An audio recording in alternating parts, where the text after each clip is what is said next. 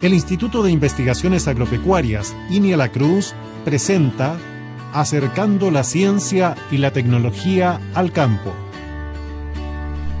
Otiorhynchus en arándano.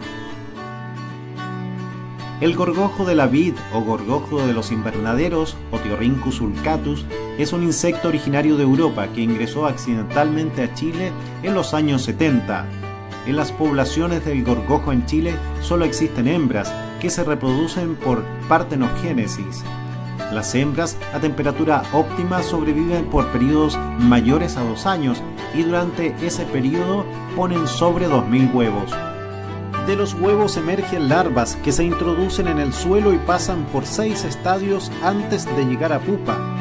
La pupa toma entre 20 a 30 días para transformarse en adulto. El estado de larva se alimenta de raíces, cuellos y coronas de las plantas, produciendo fuertes daños por anillado que causan reducción de crecimiento, baja y mala producción y muerte de las plantas. Para un correcto manejo de las plagas, revisar las plantas en viveros, establecer plantas sobre suelos no infestados, monitorear la plaga, utilizar insecticidas con registro y utilizar hongos entomopatógenos en su combate como control biológico.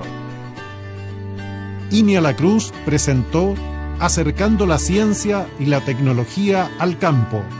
INIA, liderando el desarrollo de la agricultura chilena.